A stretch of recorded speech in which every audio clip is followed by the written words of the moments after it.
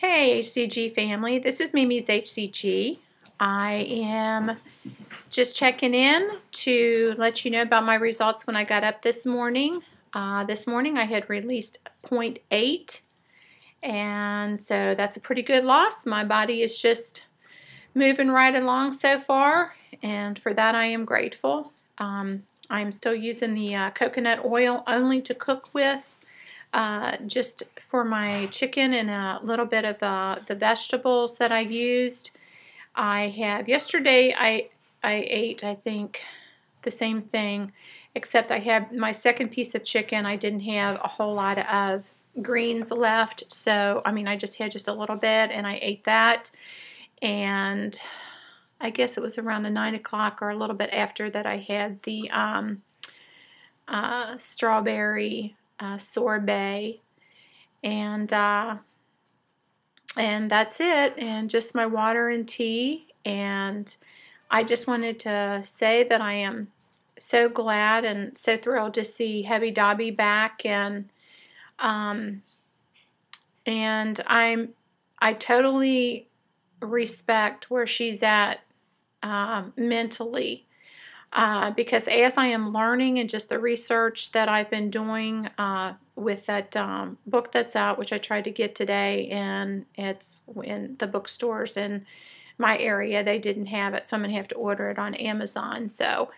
but um, the weight loss apocalypse and um, and also on their uh, mind body, I think it is on Facebook uh, too. I've been reading um, all the comments and uh, from that, so you know, I I am the same way. I am I'm like heavy dobby. I am using the coconut oil.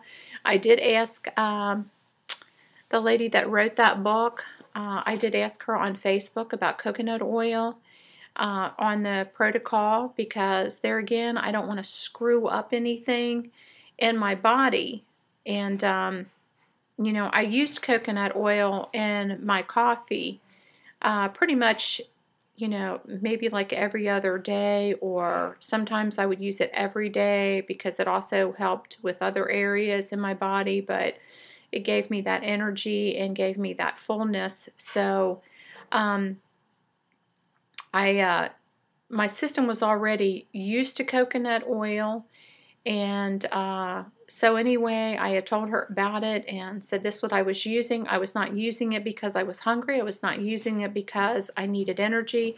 I was using it just to uh, cook my meats in and uh, I actually just a tiny bit to brown my meat and whatever vegetables in that. When I take my meat out, my vegetables I just throw in the uh, pan and uh, kind of deglaze it that way with the vegetables and um, so um, it, it's working. I, I don't have any hunger on the HCG. I have it's it's 4:37 here. I have not had anything to eat. I have had some water, and uh,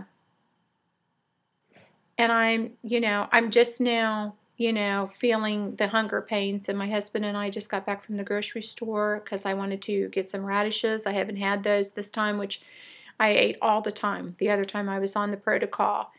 And uh, I'm trying to think if there was anything else. I, I, I wanted to get me some more cottage cheese, um, no fat cottage cheese.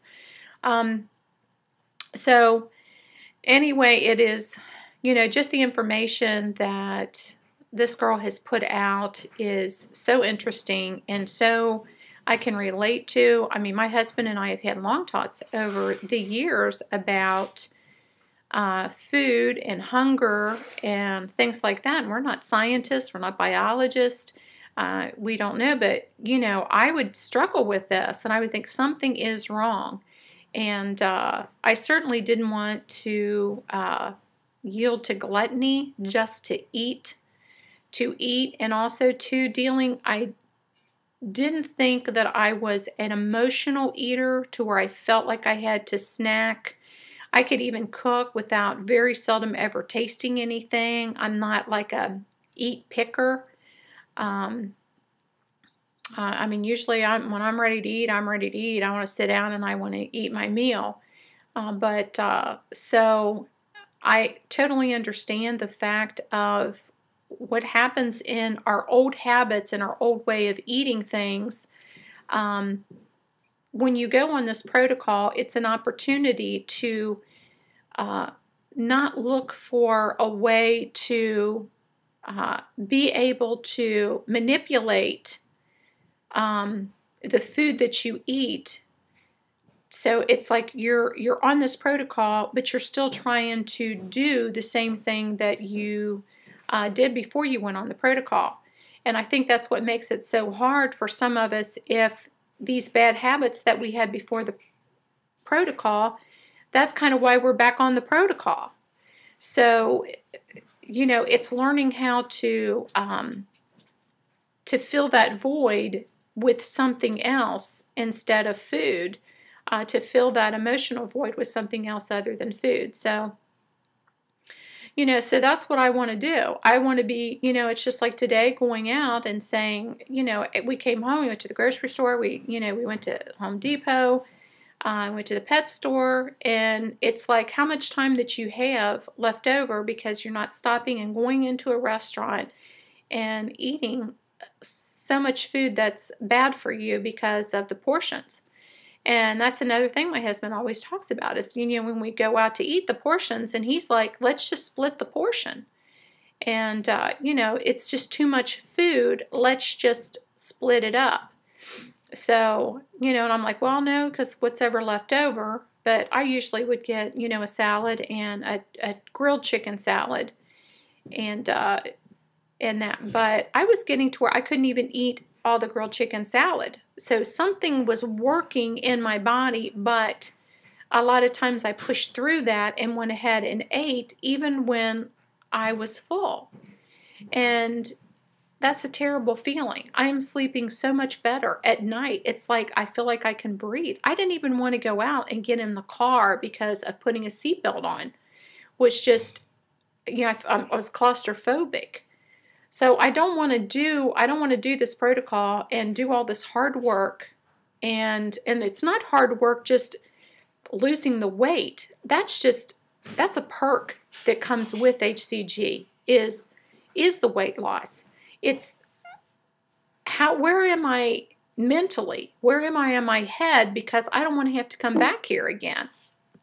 So you know, that's that's where I am, and I totally understand um, the path that Hebby Dobby is is going down, and I know there's others that are out there to to really take a look at where we're at uh, mentally and why we went on HCG in the first place. If it's just so we can just lose that weight, and it's like you know I don't want to look like I was 17 again. I don't want to look like I was 30 again. Matter of fact, I think I was overweight when I was 30. Um, but I just want to be able to move and not be suffocated. I mean, I'm not, I'm already old enough now to where if I put on a pair of jeans and I've got a muffin top, you know, I'm just uh, grateful that I don't have, you know, two big loaves of bread hanging over my jeans. But a muffin top is, I take a muffin top. But that's me. I just want my body to be where it's supposed to be. So anyway, there again, I can't I can't say enough about uh, just the information that I have read that you know this young lady has come up with about leptin, uh, L E P T I N, not Lipton like the tea you drink, uh, dorky dork. Um, but, uh, you know, just for everybody, just to make sure that you are reevaluating where you are mentally and why we're reaching for so many things to appease our taste buds. And what we're trying to do is manipulate the food that's on the protocol to make it taste like the foods that we're used to eating that got us in this place in the beginning. So, but that's that's me and everybody has got their journey that they have to go down and um, but that is you know that's how I feel I have uh, next week I have my daughter's uh, 30th birthday is coming up and I am uh, taking her sister and her out to get a pedicure. I'm not getting a pedicure. And they're going to want to do lunch. So I have to mentally be prepared for that to, if it's to sit and eat a bowl of lettuce with some vinegar on it, then that's what I have to do. But not just that, but to listen to my body. Am I hungry? You know, and then when I'm full, it's just like last night. I made that uh, strawberry sorbet. I ate what I wanted, and that was it. And I literally poured the rest of it down the sink because I just didn't I didn't want it. I'm full and I'm wanting my brain to recognize the fact, hey, you're full. So anyway, um, that's it and I hope everybody does well and I hope everyone has releases. I hope everybody is mentally prepared to change their life and to take every advantage um, that HCG is providing for us. And I want you all to have a good night, a good weekend, and safe weekend. And big hug to my HCG family. Bye.